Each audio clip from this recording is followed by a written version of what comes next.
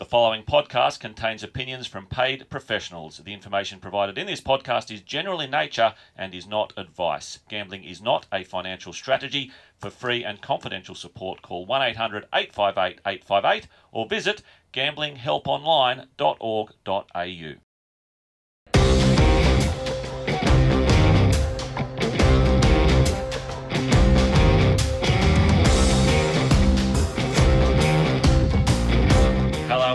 welcome to episode four, the final episode of this series of Horse Racing 101, a podcast designed to help recreational punters improve. I'm Paul Joice and I'm joined by the delightful Kiaarn Dickens. How are you today? I'm good, Joicey. How are you? I'm great. I'm looking forward to this one. This is the final episode. We've been working towards it. Uh, obviously, if people don't know who we are, of course, Paul and Kiaarn, we cover racing in southeast Queensland for Sky. So we spend a lot of time at the races doing form and trying to find winners. And the point of this podcast, of course, was to try and help punters improve and find their own winners down the track. And uh, one way of doing that, of course, is to look for value. And we are going to try and take punters step by step through framing their own markets Okay. in episode four. So it's a big challenge, but I think we might be able to get there. Yes. Yep. And you're following along because this is something foreign to you as well. Yeah. Because I frame a market differently, but I'll talk about that off the back of Me trying your to handiwork here. Good. Well, let's get started. So, what we've done is, an, uh, instead of rating a normal race, so if we rated a race on Saturday at Randwick, which we could have done, uh, by the time this podcast drops, the race would have been run and won. So, a lot of what we're about to talk about would be Irrelevant. irrelevant. All right. So, what I've done is I've come up with a fantasy race. We've picked five horses, and we're trying to keep everyone. We're trying to play it fair. So, we've got our Melbourne, probably our best horse in Melbourne, best horse in Sydney, best horse in Queensland. Apart from Arch Choice. People are going to disagree with this. This this this segment isn't about people disagreeing because I'm sure people. It's not will. about the best horse, is It's it? not really. It's just they're just horses that fit into this segment, right? we've gone to Perth, and uh, of course, then we've gone overseas, right? So this is the field for a fantasy race. Now, just for the sake of setting a set of prices, Mm-hmm. we're going to pretend we're at Randwick. We're on a good track, and we're running over the mile. You've already got me out of my comfort zone. Yeah, but that's all right. It's, you're supposed Can to get out go of to your comfort Gatton? zone. No, we're not going to Gatton. we're not going to Kilcoy or Gatton. We're going to Randwick, the big mile. And we're going to do it under weight for age conditions. Yep, perfect. Because uh, to handicap these would have been possible, but Mm-hmm. would have got very confusing. So we're going to go under weight for age conditions, and we are going to try and price up these five horses, Kiaarn. And the idea of this is to wind the clock all the way back to episode one, Mm-hmm. when I threw a coin at you, and then we flipped a dice over at you, and then we picked a card out of 52 cards.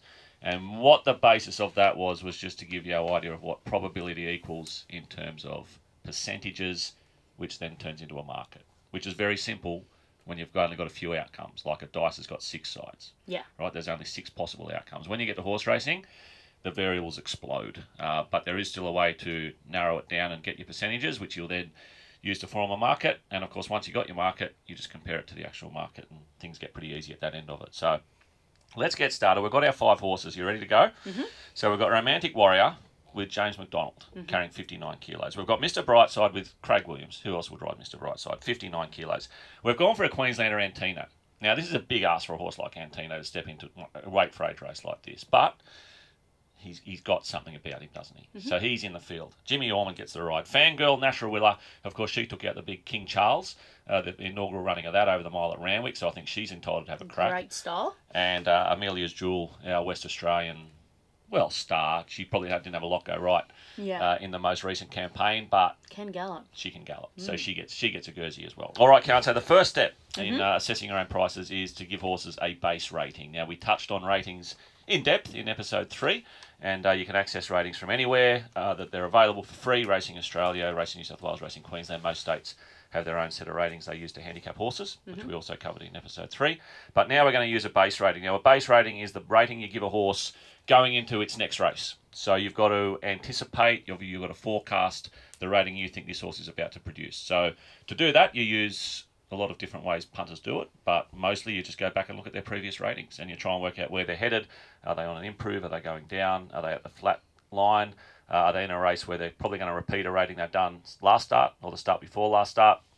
And a lot of uh, punters will just average out their last three or four starts and use that as their base rating. So whichever way works, uh, I'll probably put more weight on their last start or more weight on their last two starts. Recent form. And I probably put more weight on a rating which is a very similar sort of profile race to mm-hmm. this one. Yeah. So if it was a mile at Randwick on a good track three starts ago, and then they've run on a very wet track, or then they've gone up in distance, or whatever, I'd probably go back to more the one that reflects what we're doing today. Yeah. So that's sort of where I get my base rating from.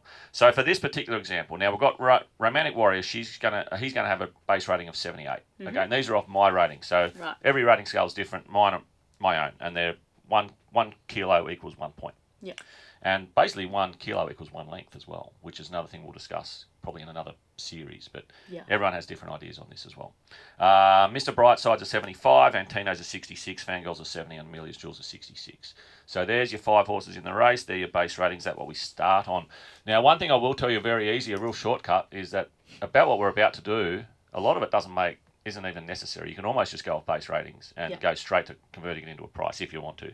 But most uh, models, most punters will then go through and add or subtract uh, for a lot of variables. And for this, you can dead set use 50 variables. or You can use three. Yes. Let's backtrack. Yes. Do you want to explain weight for age, uh, wait, weight for age conditions Yeah, weight for age. to whoever those who don't know? yeah, so weight for age. Con- good, good question. So weight for age conditions as opposed to a handicap. I know you like to get ahead of yourself. Yeah, I do. Weight for age conditions is just a, is every horse is given a weight on their age. Mm-hmm. So it doesn't matter how good you are or how good your form is, or how much better you are than your rivals. You get weighted on your age. Mm. It's great to find good weight for age, age horses. I think. It is indeed. So as opposed to a handicap where the best horse is given the top weight and the lesser horses are given less weight to try and be competitive. Yep. In weight for age racing, if you're not good enough, get out of the kitchen because you have to be able to match the best horse in the race Yeah. because you're not getting any weight relief off them. Yes. Right? So that's why So weight they're for the age conditions we're dealing with. that's what we and that is why weight for age racing generally produces the best fields because Yes. they are the best horses competing against each other on a on Quite on, an even on, on an even field. playing field, depending on your age. Of course, if you're a younger horse or a female horse, you're entitled to get some weight relief, and I think that's fair enough. Yeah. And uh, obviously, the weight for age scale is done by experts, And of uh, course, that's how it works. uh, let's, let's even backtrack further. Um, female horses are given two kilos less. That's right. So that's why in this scale you'll see that uh, Amelia's Jewel gets a bit of weight relief, as does Fangirl, uh, because of their age, and of course they're both Mm-hmm. Their female. sex, yeah. Yep. So that's how we get to the uh, weight for age weights, and uh, that's how we're basically looking at this particular race. In a handicap, the highest rated horse would carry more weight than the others, and significantly more weight, I would imagine. However, under these conditions, Yes. I'm going to let you take the floor. Yeah, so Romantic Warrior looks really well placed under these conditions of weight for age racing, obviously with a higher base rating, which is what we're kicking off with. And then we start to add and subtract our variables. As I said, there's you could do 50 of them if you wanted. And when we're talking about these, we're talking about things like jockey, track, track condition, weight, speed map, consistency, uh, fitness, it- Barriers. barriers. They're all things that you can look at, and you can look at more and more of them if you want to. Um, personally, I don't get too involved in it. I look at the really basic ones that I think may add or subtract off a base rating. Uh, but I also probably start my base ratings with a lot of that already done in my head. Yeah. So I've already sort of thought about that before I come up with their base rating. So I'm not really thinking about distance so much unless it's a massive jump or come back in distance. Wet tracks, of course, if that kicks in, you've got to add or subtract it. If the horse has got wet track form, we've discussed that in episode three. Uh, so it all comes together here as you try and make up your own prices. But let's say, for an example, we start with our base rating. These are what we call our herbs and spices. You throw everything into the mix, you add, subtract, and then when you get through that, you're going to come up with a with a new total rating, What's which is favourite herbs what you spices? expect for this one. What's my favourite herbs and spices in, in reality or Yeah, in this? I've got two.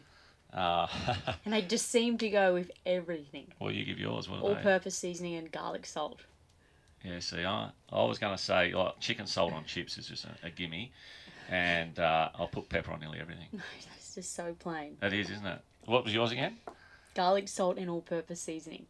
What is all-purpose seasoning? I don't know what it is, but it goes with every, everything as the name states. You can put it on anything. Really? Yeah. I might have to give that a try. Oh, yeah. You won't look back. Okay, but I'm not much of a chef. That's not one of not one of my strengths. Actually, you're probably you better. better You're probably a better cook than me. That might I be the a second thing. I We might have cook. found the second thing you're better than me at. cook. So I've given you two in the last two episodes. It's not bad. It's not bad. You should take that and run. I'm funnier than you. Oh, we've had this discussion before. Depends on the audience, that's for sure. I'm not giving you that one. You are funny, but I'm not giving you that one. That's a, Not yet. That's a photo finish. Um, Okay, back to the rating. So, Romantic Warrior base rating comes out from 78. Funny enough, if you add or subtract whatever you want in this particular example, it still comes out as 78. Yep. So, whatever I've added Yep. and taken away, whether it's you get pluses for having JMac on, but you lose a bit because you're coming back to a mile, uh, Romantic Warrior's best form's probably 2000. So, Yes. you know, you add, subtract things, and you come up with 78. Uh, Mr. Brightside started 75, ended 75, Antino started 66, ended up 65 a half, so it was only lost a half point.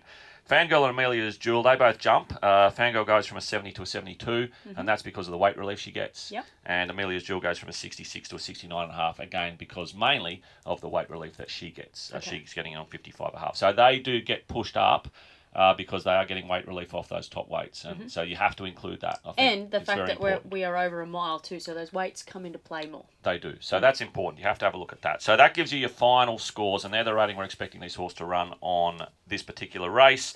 Uh, looking at those scores, Kiaarn, now we're getting into a little bit of mathematics, but don't get too put off. We're going to get through it. And Romantic Warrior with a 78 is three points ahead of Mr. Brightside, right? So he score he starts off on a zero. Mr. Brightside gets a three because he's three points behind. Antino's 12 and a half points behind Rom- Romantic Warrior. Fangirl's six points behind.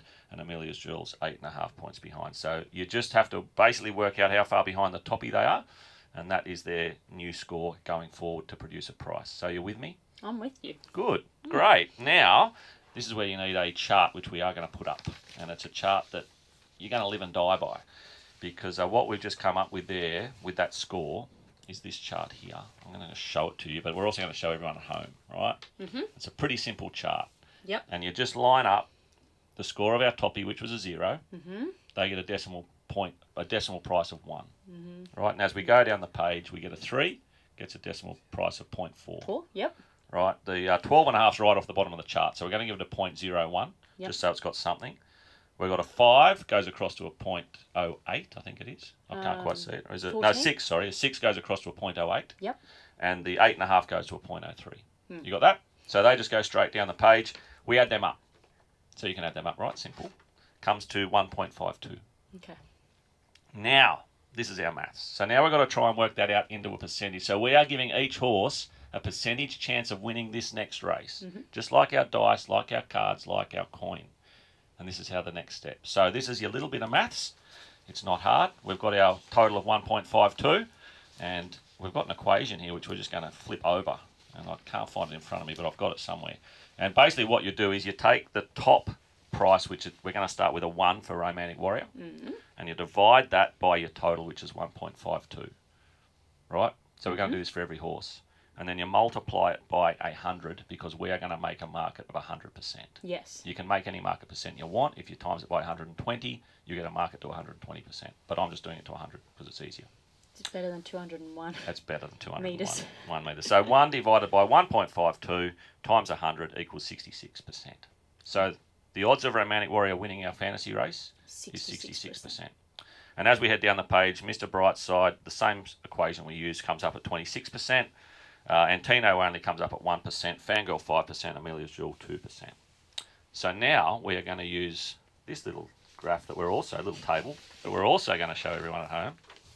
And it's too small for you to read. It it's like my handwriting. It is like your handwriting.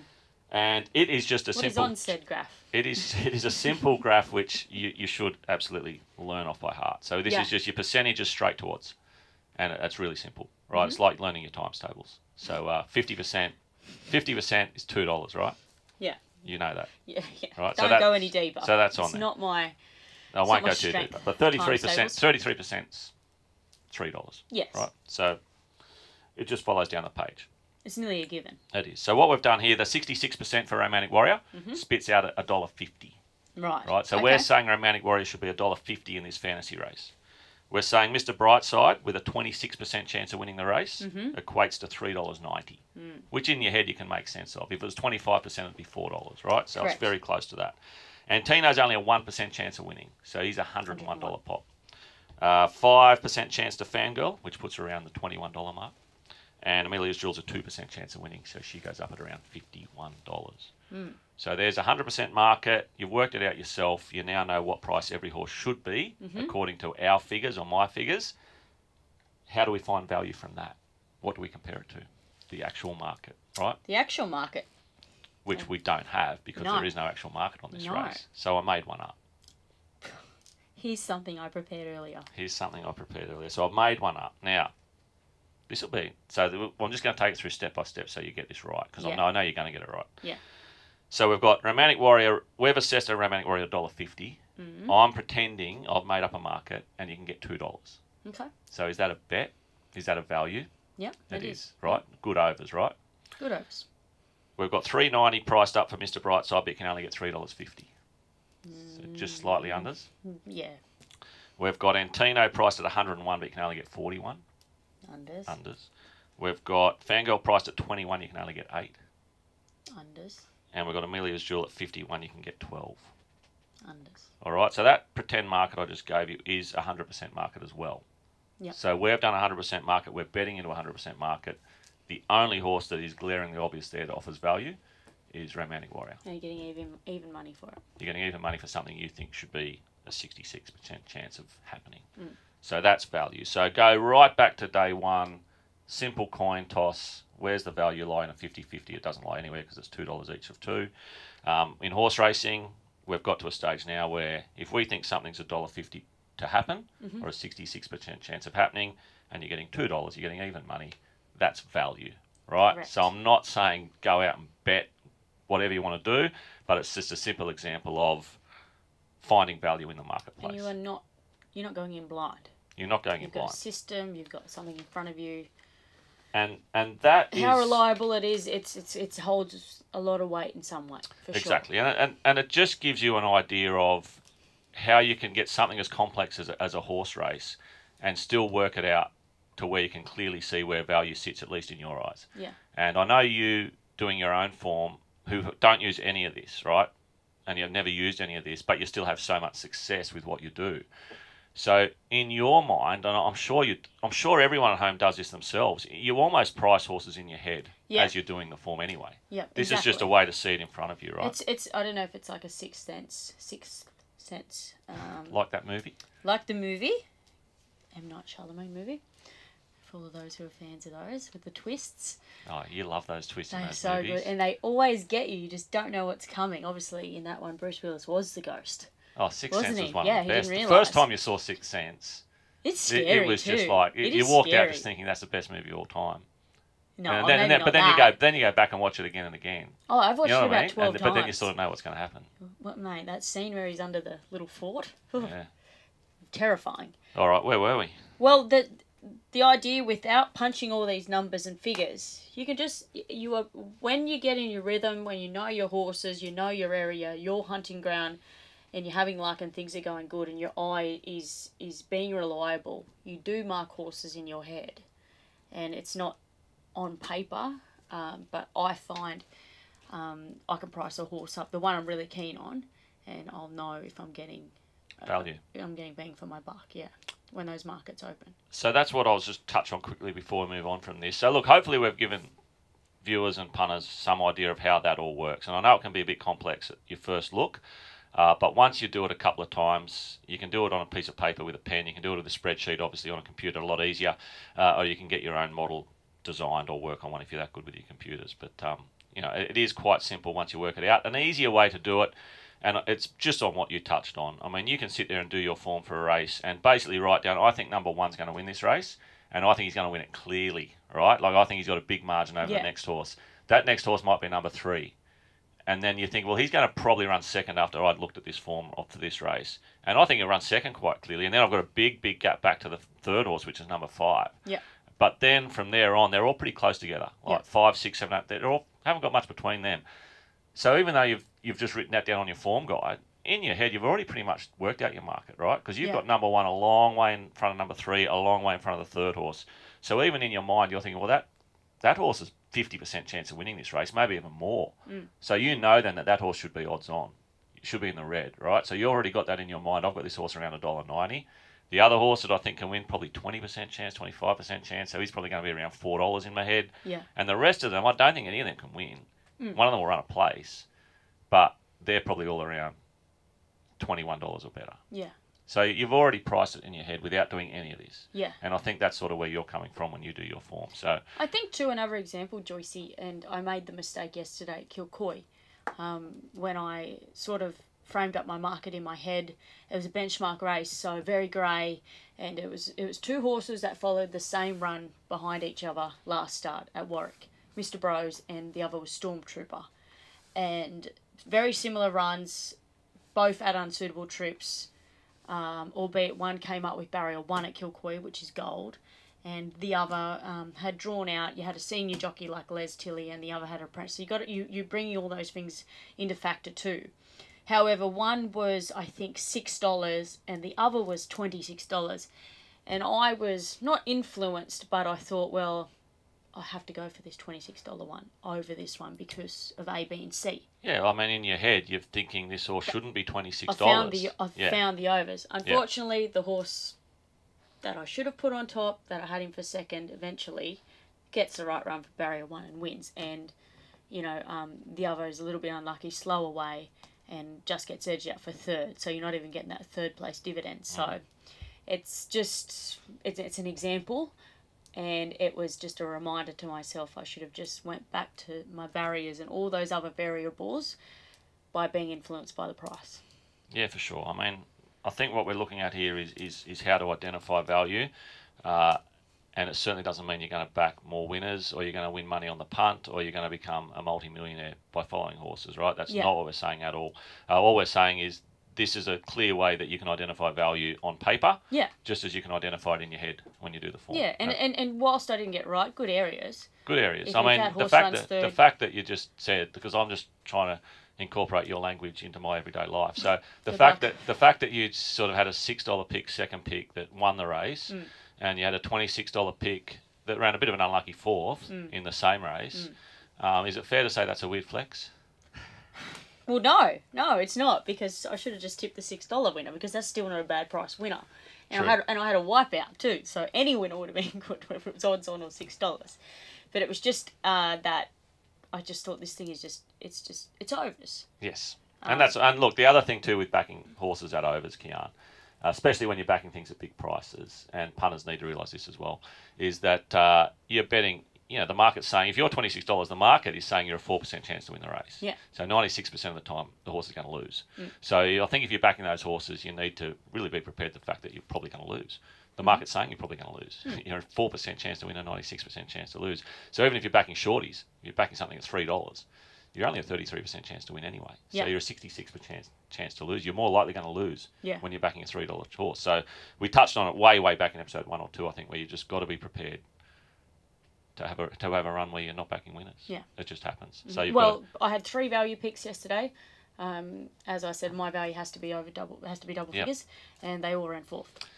Well, so it's just the t- hopefully the the table will turn and you get that better luck. But they were all they all ran fourth. funny thing is, what we're just talking about right now Mhm. is the perfect segue into our next segment on Mm. this final episode. Because we're hitting the big, we're hitting the sixes over the fence in this episode. We're trying to. This is like the big bash. Hopefully, we're getting somewhere with it. Okay, so this is the second part that we really have to touch on, and we're just led right into it bankroll management, Yes. right? Because there is so much punters can improve upon Mhm. if they learn how to manage their punting bank better. Yeah. And I know my, many, a lot of punters don't have a punting bank as such. They just have money in their tab account Mhm. and they just bet off it and they don't keep records. We've suggested you should keep records and we've outlined the reasons why.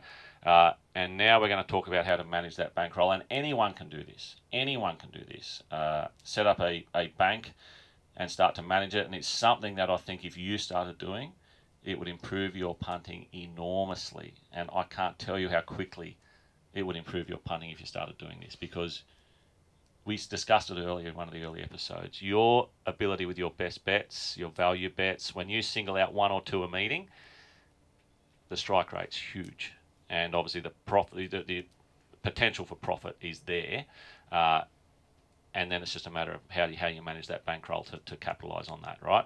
So how are we benefiting from it? How we benefit. Well, the biggest benefit from it is Benefiting. it's well, it, it stops the number one thing, the number one trap every punter falls into, and it's we're here to promote responsible gambling, right? Yeah. That's the number one thing, and it don't chase losses. Mm. Right? It's the worst thing any punter can do is chase losses, uh, and a lot of punters do it, and they get themselves in trouble doing it, and it's a trap because you find yourself losing on a day or a week or a month, and you think you want to turn around and get it back as quickly as you can. So what do you do? You start to increase your bet size. You start to bet more places, Hmm. uh, and whilst every now and again it probably works, Yep. uh, over over time it's not going to work, No. uh, and you are going to end up losing more than you want to or you should, and that's not responsible gambling. So we need to try and turn that around, and this whole podcast is, is designed to help people do that. So uh, bankroll management is so simple to start off with, right? If you're an average punter and you bet you fifty dollars a week or hundred dollars a week, and that's what you love to do, and you just have fun doing it, keep doing it. If you started doing it, for example, and I'll use you as the example, when you went to your next meeting at the Sunny Coast and you had two best bets and a value bet, you might, for example, put 1% of your bank on each of the two best bets and maybe half a percent of your bank on your value bet. Yeah. Right? And you just go along with that for the next six months Yeah. and see how you go. Yeah. Because what it's going to do is for a $500 bank, you're putting 1% on, it's only $5, but you're putting that on each of your two best bets. So there's $10 and you're putting $2.50 on your best value bet. You're betting $12.50 of the meeting of your 500 and then you go home and record how you went. Yeah. Simple, right? And you do that week after week, meeting after meeting for six months, and just see how you go. And that's pretty much how a bankroll management works. Um, I would suggest anyone starting out to use that one percent figure. Uh, it's it's an easy way to get into it. You can't get yourself in too much trouble financially, and you'll soon see the enjoyment you get if things start to go well. And if things aren't going well and you miss a few photos, you back a few losers, you'll find that you're really man- managing those losses pretty quickly. Um, because you're not betting huge and you're not chasing your losses. You know, you're still only betting one percent every time you have a bet. Touched on how important it is to track your bets. Well, this is the best way to do it because Yeah. you've got to go home after each meeting and write down. I had two best bets and a value bet. One of them won, the other two lost, and I made seven dollars. Yeah. Right, and then the next meeting, the next meeting, next meeting, until you've done it for long enough that you can see where the bank's gone up or down. Uh, you've managed it successfully. You haven't got yourself in any trouble, and uh, you know then then punters can have a look at if it's working well. What can I do to capitalise on that? What am I doing right? I'm going to keep doing that. What am I doing wrong? I'm going to stop doing that. Yeah. Um, so that's how bank bankroll management works. Me personally, I just like to bet one horse a race 95% of the time. I very rarely back two horses in a race. I do do it sometimes. A lot of other serious professional punters would probably bet four horses a race, three horses a race. They like to really flatten that variance of bad luck.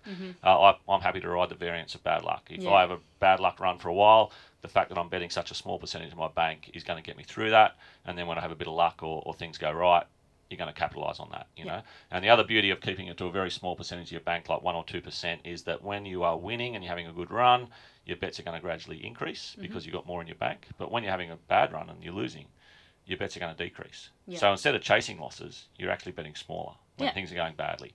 So that is the crux of bankroll management. You could talk about it for weeks or days on end. Uh, but I think it's something most punters should at least consider doing Hmm. or giving it a try and seeing how they go with it. Hmm. You happy with that? Yeah. Wait till we get to the Sunshine Coast or wherever we're working next, and You're going to start? I'll tell you about my new bankroll management system I have Oh. in place. I would love to hear about that.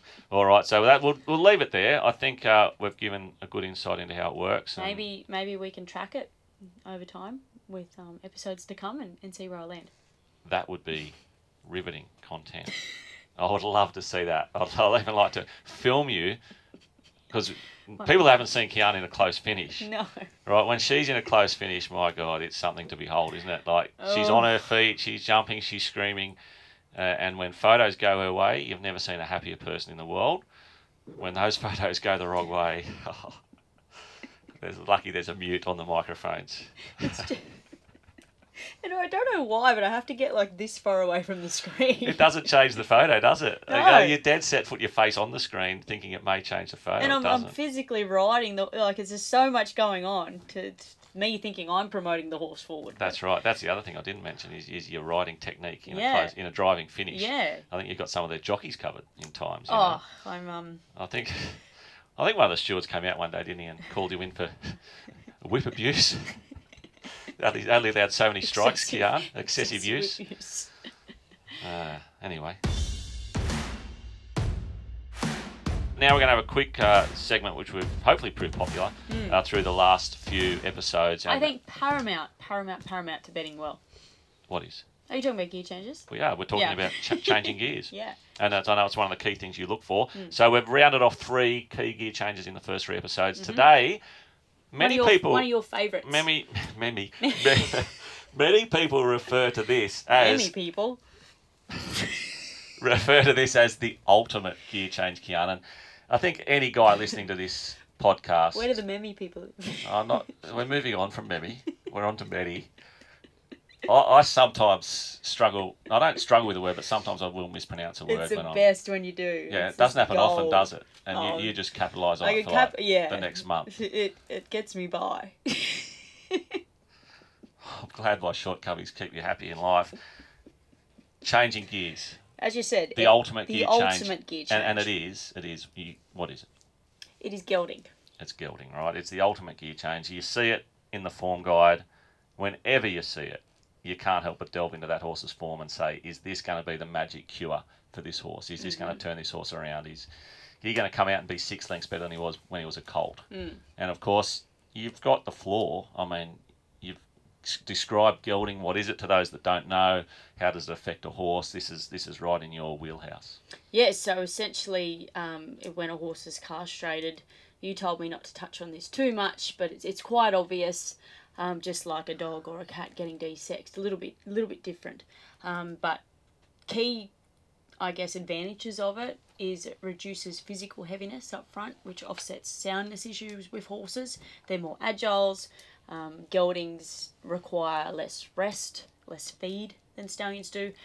Um, mannerisms, demeanors. Some gelding, some stallions are, are really bullish and they can hurt themselves, hurt strappers, and of course they're trying to um, get near the female horses too. So they can be quite a, you know, they they're quite a handful. The other, the flip side of it is everyone's after that good colt that could go on to be a stallion. Um, I was lucky enough to to ride one track work and, and travel with with him, and that was Spirit of Boom. However, he did not know he was a stallion. He knows now since he served mares. Don't get me wrong, um, but he was. He, you could put- you could put him you could ride him out with a mare and things like that. So his demeanor um, was very manageable, and so it was, it was his pedigree was great. So it was it was within reach to keep him a stallion. But it's not it doesn't work with others. You've also got things like um, it's not it's not I don't know if it's like scientifically proven, but um, sometimes you can a, a rider will say that the horse felt like dis, like a bit of discomfort, so as Yep. if there there's something's pitching Yep. um, down below. So there's there's a lot of reasons um, to geld a horse, and and I'm a big fan of it. Um, I don't think there's too much reason to keep them a stallion if, if there's no need. But again, it's it, there's that small percentage that that colt might have some X factor and go on to be a stallion, which is ultimately what you're after. Yeah, I think the point you made off air too was that you can't ungeld them. That So it- it once is- once it's done, it's, it's done. not like a vasectomy. Mm. With, Yep. I'm sure humans can have it reversed, as far as I know. Um, Apparently, it's very painful to get reversed, but it can be reversed. I wouldn't know. No, you wouldn't know. So, and- a lot of men out there would know. And that's the thing. you- You're weighing it up. This horse has this fantastic pedigree, um, but this is going to be something that we can't change once it's done. And I suppose uh, to try and quantify it, it's impossible, right? So a horse that's gone out of colt, come back two months, three months. We saw one the other day come back about four weeks later Mhm. as a gelding. Uh, it is the ultimate gear change because it can turn a horse around so much. I mean, Kingston Town was our prime example, right? Going back a long, long time. Uh, as a colt, wasn't much good at all. Yeah. As a gelding, became the best horse in Australasia by a long, long way and has gone down in folklore. And obviously, his mind was not on the job at hand And that's it. whilst he had those two things between his legs. So quantifying how much a gelding will assist a horse is impossible. We all agree on, but it is something you must look at. Yeah. It is a key gear change. Yeah.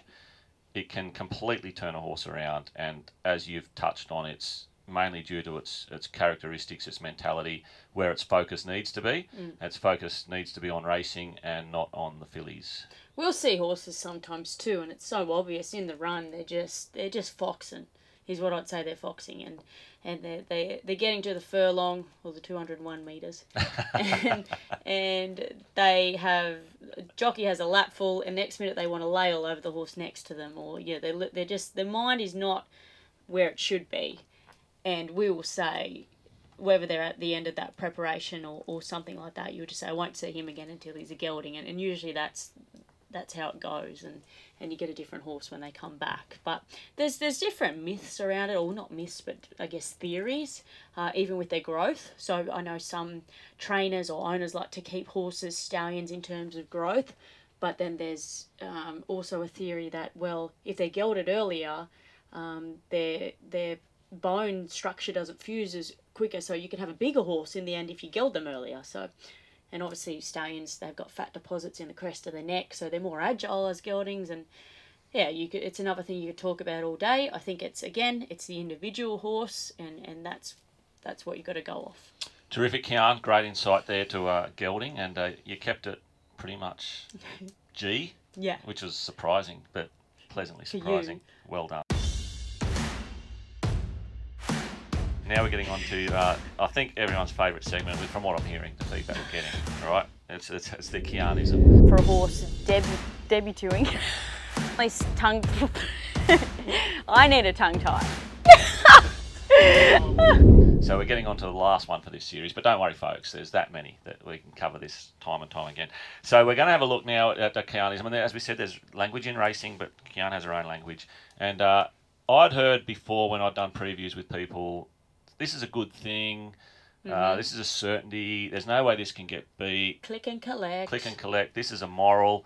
But one day I was with you, and you just flipped it a little bit past moral, and the word that came out of your mouth- was morale. Morale. So just take us through it. What is what is I a think morale? oh, we're at Beaudesert, and I said, "Oh, it was it wasn't even a horse that was racing. It got scratched because something." And I said, "Oh yeah."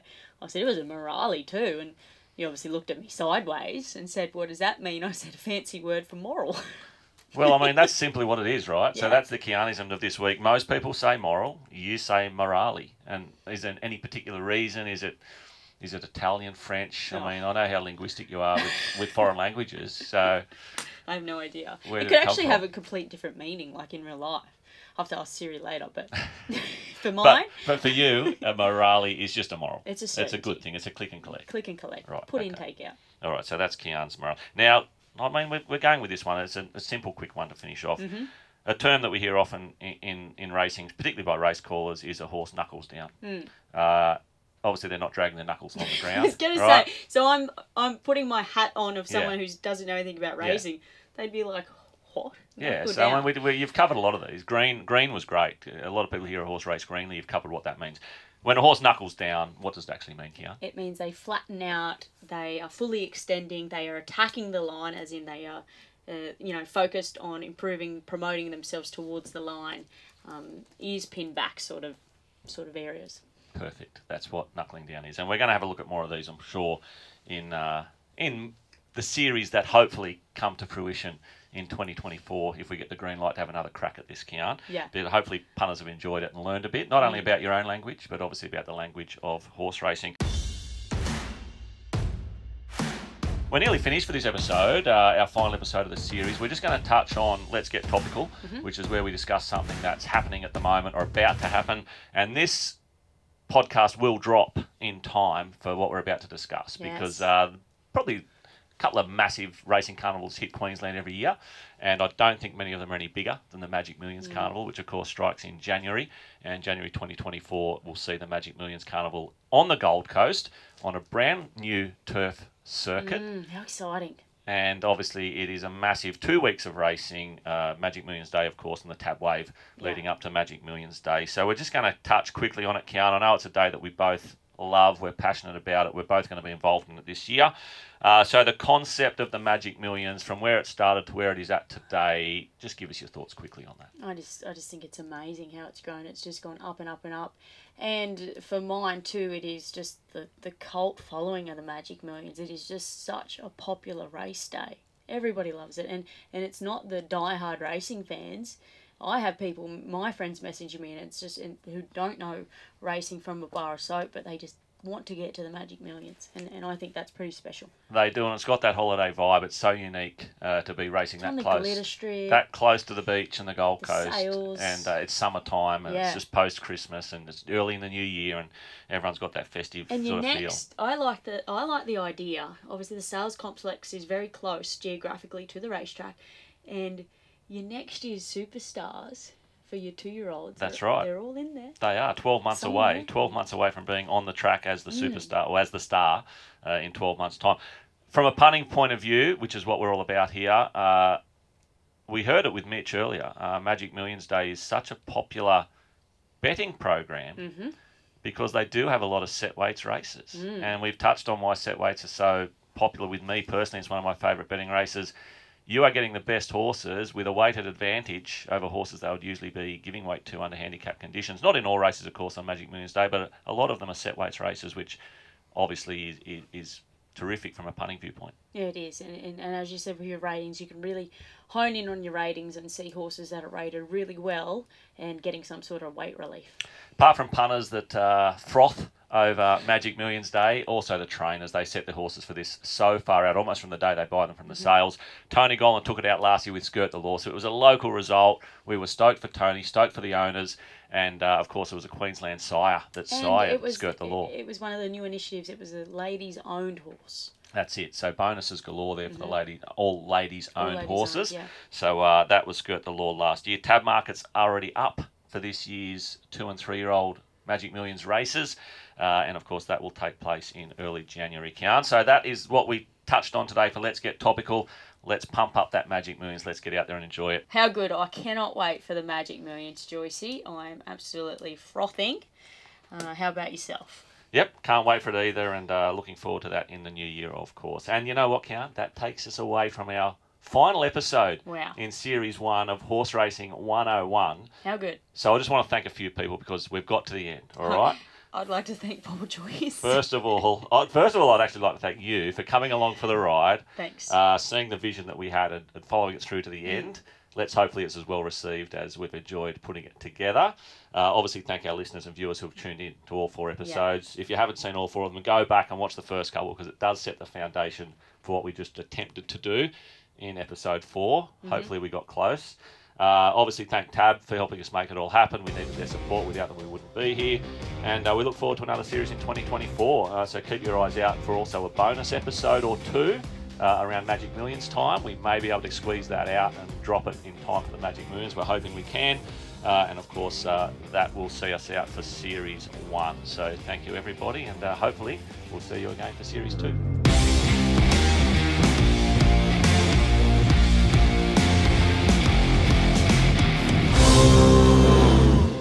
Win some, you lose more. For free and confidential support, call the number on the screen or visit the website